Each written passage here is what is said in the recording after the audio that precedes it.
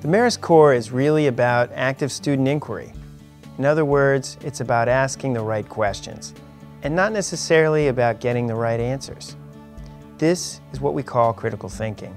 We don't want students to look at our core and say, what do I need to take this semester? We want to say, I want to find out more about that. And through the process of exploring their interests, they're going to gain those skills they'll need to, to be able to connect things that don't normally connect, perhaps, to find those unique connections that only their particular diverse passions will do, but also to express those connections that they make clearly in writing, to present their ideas to an audience. The pathway is really about those interdisciplinary connections. Let's say a student chooses uh, African American studies. They might take a course in religion, they might take a course in philosophy, they might take a course in history, they might take a course in music or art.